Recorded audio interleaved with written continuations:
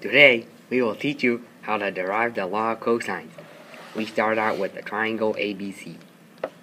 First, we need the Pythagorean theorem to find that b squared equals h squared plus quantity a minus x quantity squared.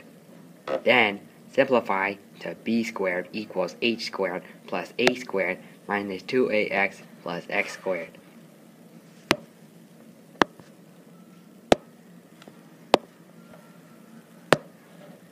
Then, we also found that c squared equals x squared plus h squared.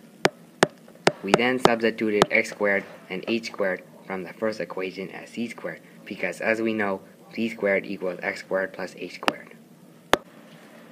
Then, we want to solve for x, so we know that the cosine of b is equal to x over c.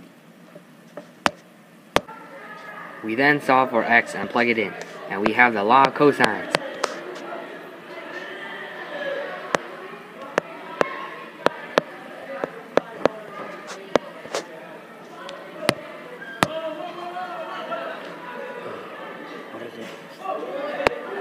squared equals c squared plus